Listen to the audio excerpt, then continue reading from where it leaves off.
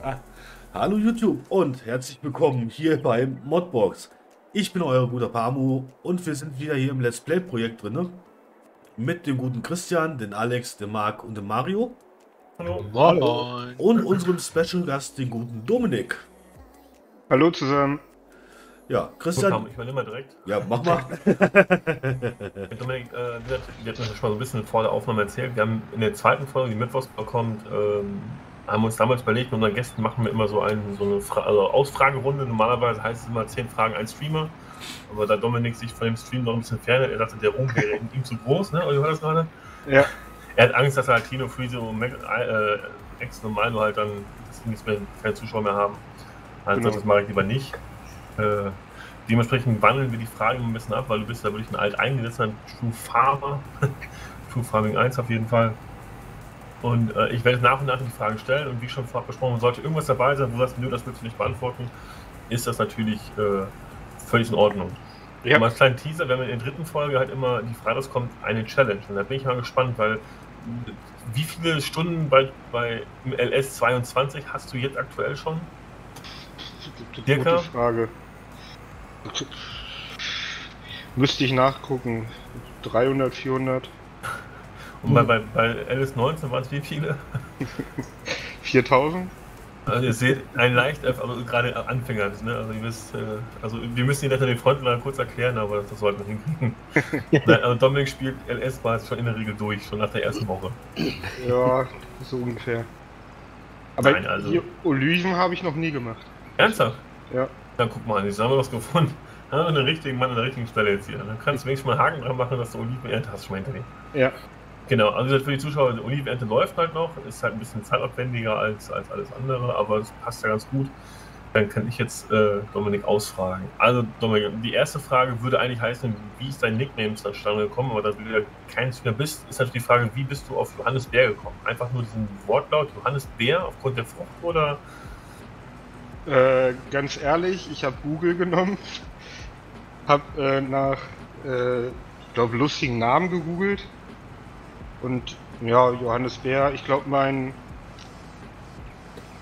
Firmenname, also da muss man sich ja bei Erfirmung kriegt man so einen Namen und oder nach irgendeinem Heiligen oder mhm. es gab halt Johannes den Täufer äh, und ja, den habe ich mir damals ausgesucht gehabt und das fand ich dann äh, ganz passend. Also, also es ist halt immer so, so, so ein Brauch, für Leute, die es nicht wissen, die Mitspieler, also das Team an sich, sucht sich meistens mal irgendwelche Namen aus, die einprägt, sondern ihr wisst ja, Rainer Zement, was haben wir noch gehabt, Wunder Faul, äh, keine Ahnung, da haben wir ja so viele schon gehabt, die jetzt ja äh, da schon ins Leben gerufen worden sind. Äh, deswegen. Okay, ähm, gut. Weißt du noch ungefähr, wann du ins Team gekommen bist? Das Jahr ungefähr? Äh, was sind wir jetzt? Ich glaube 2019.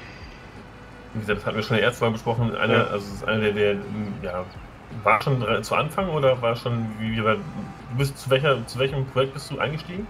Äh, zu True Farming. Da Ach, True Farming, also das heißt Rivals und so warst du nicht mehr dabei.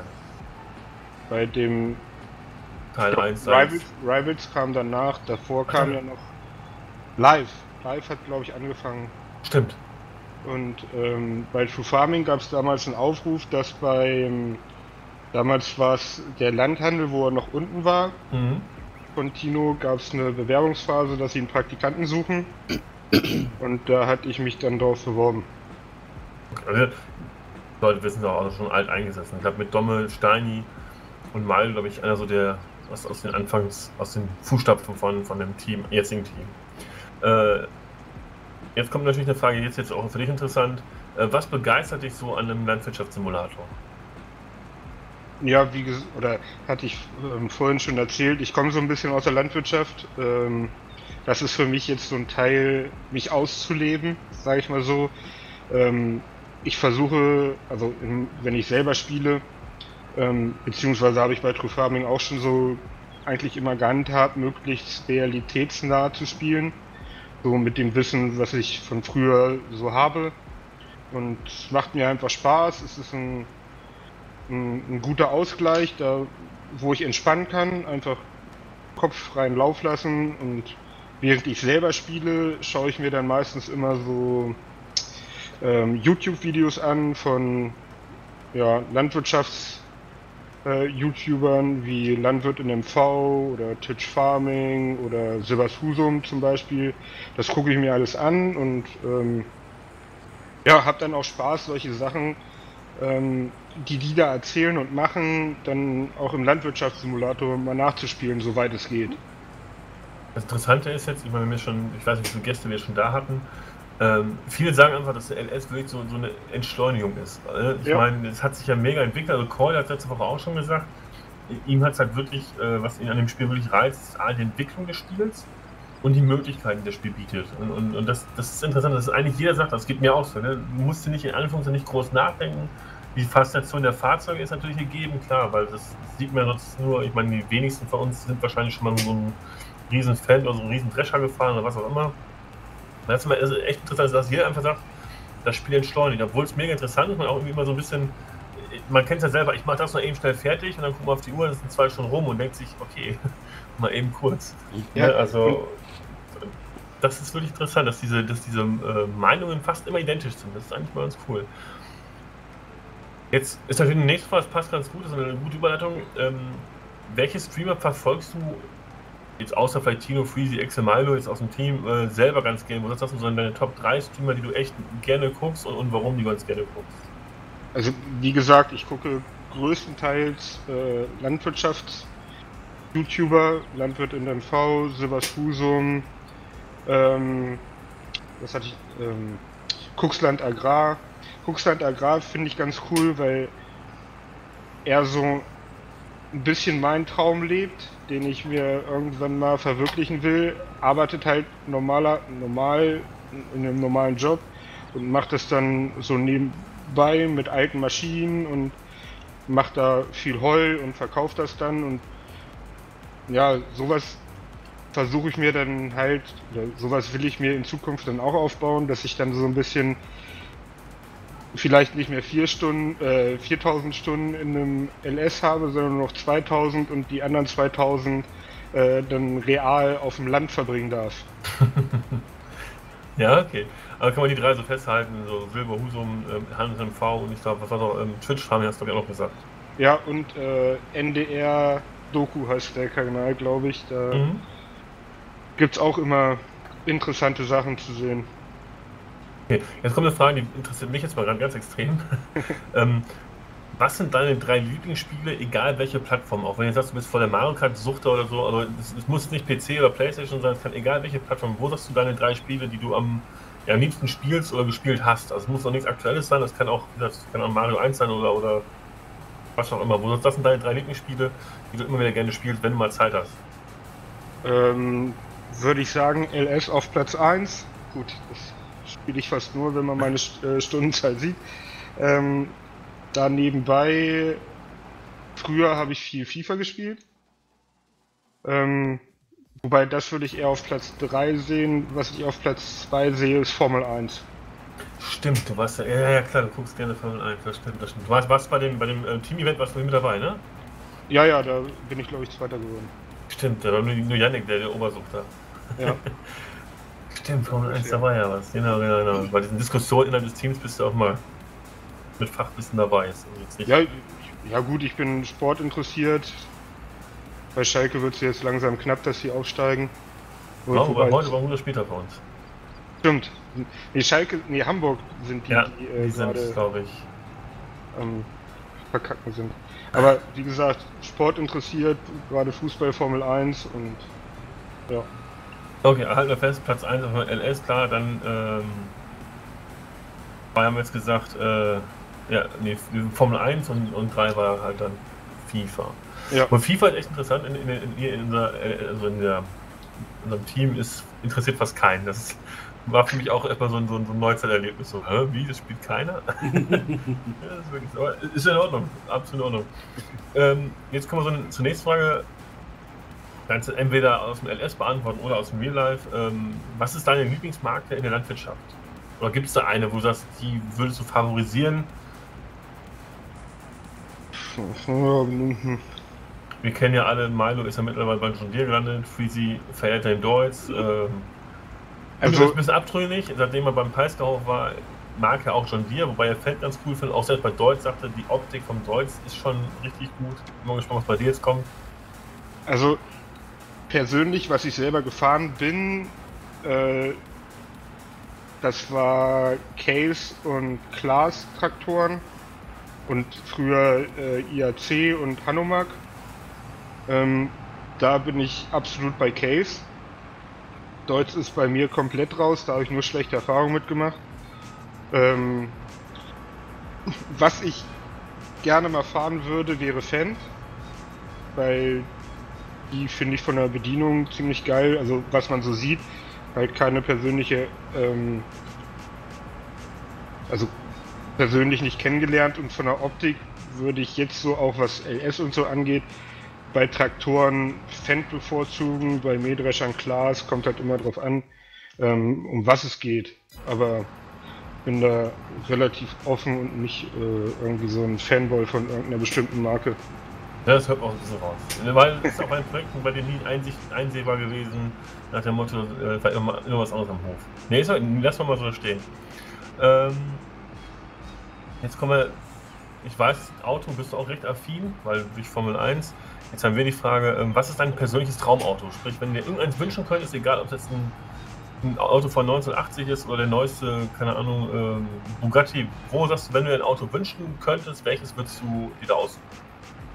Ähm, ein alter amerikanischer Ford Pickup.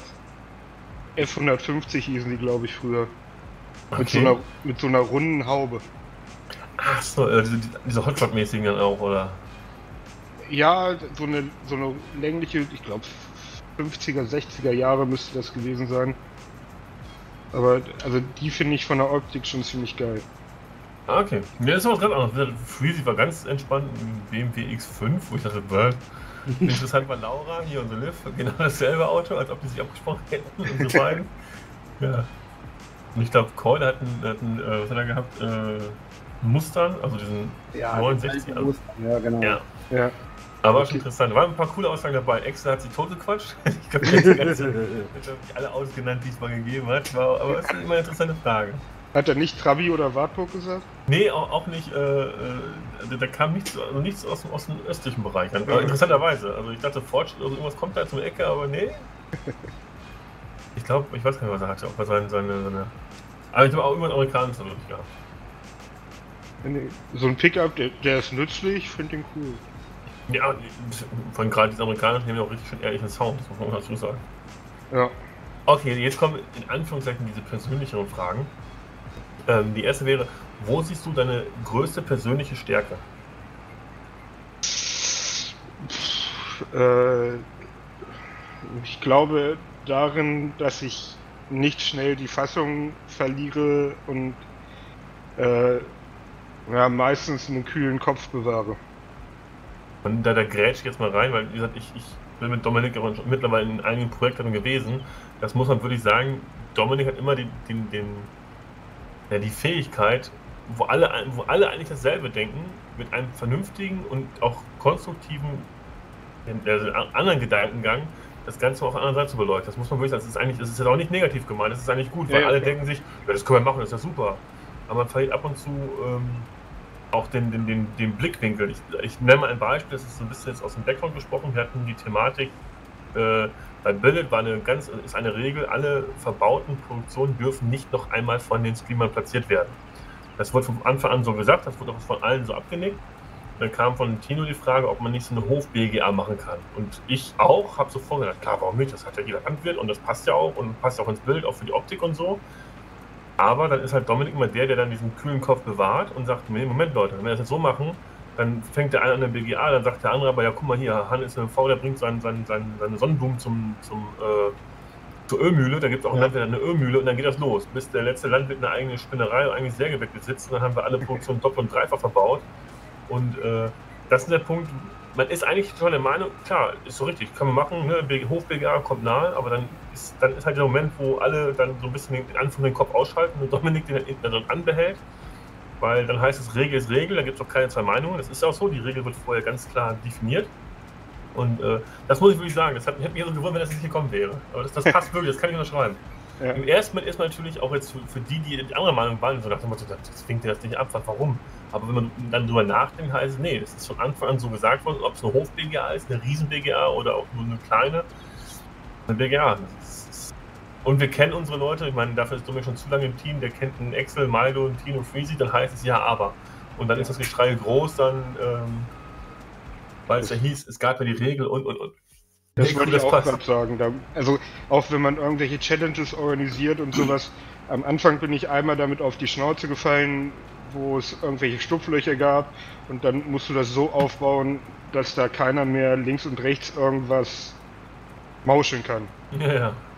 Das ist, ja, ist ja, das ist halt die Erfahrung. Aber das kann ich mit unterschreiben und das ist auch nicht negativ, das ist wirklich so. Das, ist, das hilft aber auch gerade zu einer Projektleitung, dass das Ganze nicht äh, abdriftet, weil wenn man einmal mit anfängt, klar, dann kommt der nächste an, ja, aber für meinen Hof wäre das und das super und dann ja, genau. ist das Thema durch. Ne? Und dann du kannst dann nicht mal einen sagen, ja, dann heißt es ja, ja, das ist ein ganz, ganz, ganz, ganz schwieriges Thema bei uns. Okay, jetzt komme ich so zur Gegenfrage, das ist natürlich logisch. Wo ist deine größte persönliche Schwäche?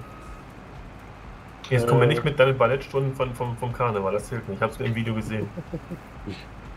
Das sehe ich nicht als Schwäche, das ist eine Überwindung. Oder eine Menge Alkohol. das hilft meistens. Ähm, ja, boah, das ist ja hier wie fast wie beim Bewerbungsgespräch. Ja, natürlich. ähm, größte Schwäche, dass ich äh, mich manchmal nicht zu irgendwas aufraffen kann, dass ich äh, schnell, also ja, sowas wie Sport oder sowas. Ich weiß, dass ich es machen müsste. Oder mich gesünder zu ernähren. Ich weiß, dass ich es machen müsste, aber so diesen inneren Schweinhund zu überwinden, ist äh, dann nicht so einfach. Oder da, da bin ich nicht, weiß ich nicht, ehrgeizig genug oder so. Ich weiß nicht, wie ich das sagen soll, aber einfach dieses ich weiß, wenn ich Sport gemacht habe, danach geht es mir besser und geht es mir gut und bin dann auch stolz drauf, dass ich es gemacht habe. Aber diese Überwindung dazu, es wirklich zu machen, die fehlt einem. Oder dieser Antrieb. Mhm.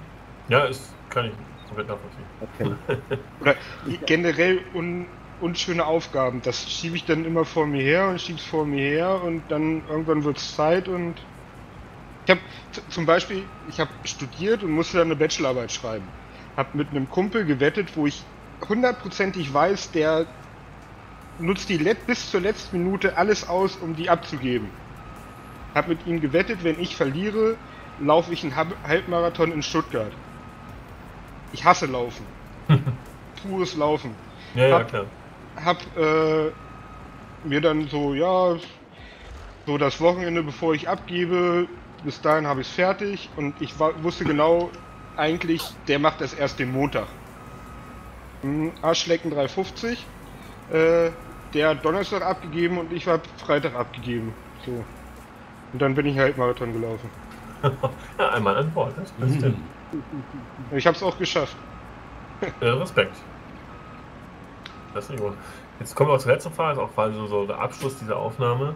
Ähm, die Frage sollst du jetzt beantworten, unabhängig von der aktuellen politischen oder Gesundheits- Situation, also sprich Pandemie mal ausgeklammert und halt ja. das, das aktuelle Geschehen in der Ukraine, was, wo es keine zwei Meinungen gibt, glaube ich, ähm, äh, ist die letzte Frage, die wir haben. Wenn du einen Wunsch frei hättest, was würdest du dir wünschen? Darf man da egoistisch sagen? dein persönlicher Wunsch. Also wenn du sagst, du willst jetzt das ist, keine Ahnung, Million auf dem Konto haben, ist es so. Das geht, die Sache, es geht um deinen persönlichen Wunsch. Wir alle wissen, dass du dir keinen Krieg wünschst, keine, keine Pandemie, das ist ja wohl logisch sondern deine Persön deine, dein persönlicher Wunsch. Ähm, einen kleinen Aussiedlerhof mit 10 Hektar drumherum, wo ich nach der Arbeit äh, mich dran vergnügen kann. Mit ein, paar mit ein paar Tieren, ein paar coole alte Schweinerassen, ein paar coole alte Rinderrassen, ein paar coole Hühner und paar alte Traktoren und alte Maschinen und dann gib ihm. Ja, das ist doch mal ein Wunsch, den, den, den kann man einfach so unkommentiert stehen lassen, das passt doch. das Ganze gibt auf jeden Fall ein Bild. Ja. Okay, Dominik, äh, ich mache jetzt mal einfach meinen Pamu. Äh, erstmal recht, recht herzlichen Dank, dass du die Zeit natürlich genommen hast für uns hier und so noch quasi in den letzten drei Folgen hier unser, unser Gast zu sein, dich ausquetschen zu lassen von uns. Äh, für mich persönlich war es interessant. Ich meine, ich kenne dich zwar auch schon ein bisschen länger, ne, anderthalb Jahre, wenn man das viel nennen darf. Aber ich auch gerade für unsere Neuen jetzt dabei sind, konnten auch das eine oder andere wahrscheinlich jetzt aus dieser Unterhaltung mit rausziehen von, den, von dem alten Hasen. Äh, danke auf jeden Fall. Wir sehen dich gleich noch in der Challenge wieder. Da bin ich absolut gespannt, weil mit gefühlt 10.000 Spielstunden ist natürlich das Level ganz weit oben. du hast auch keine Ausrede, dass du kein falsches Equipment hast oder bei irgendeiner Frau zu Gast bist, die du. Ne, also das, das, das darf man nicht durchgehen, ist ja klar. Das ist ein bisschen Druck gerade. Das ist nicht schlimm. Wir hatten das letzte Woche mit, mit Keule auch gehabt, weil Keule einmal in der King Challenge mussten die auch Ballen stapeln, aber ganz extrem, so ein Brandenburger Tor nachbauen. Da war der so akkurat. Ich dachte mir eigentlich, der, der knüppelt in eine richtige heftige Zeit rein. War nicht so schlecht, aber Yannick ist aktuell, aber das machen wir später. äh, danke dir auch immer für die Zeit. Jungs, ja. äh, Alexander, Marc, Pamo, Mario, euch auch natürlich danke, dass ihr wieder hier fleißig mitgewohlt habt. Ja, immer gerne. wieder gerne. Dann mache ich auch wieder dieses, dieses typische äh, Daumen nicht vergessen. Ne? Ihr wisst, Support ist Remort, Glocke aktivieren, damit ihr keine Mods und Let's Plays und was euch demnächst alles verpasst. Schreibt euch in die Kommentare, wenn ihr Fragen an Dominik habt oder an Johannes Bär. Haut es mal rein, ich stelle die dann und dann schreibe ich es euch dann unten drunter. Und ja, wie gesagt, schon wie bei der ersten Folge, Dominik, darfst du natürlich, hast du das letzte Wort als Gast und äh, ja, danke dir auf jeden Fall. Schon wieder, ja. Vielen Dank, dass ich dabei sein durfte. Hat sehr viel Spaß gemacht und ähm, ja, war sehr interessant. Und das erste Mal Oliven ernten könnt ihr euch jetzt bei mir auf die Fahne schreiben. Kann nicht jeder. ähm, ja, vielen Dank, dass ich dabei sein durfte und äh, schaut auch die anderen Videos von Modbox, sind echt alle interessant.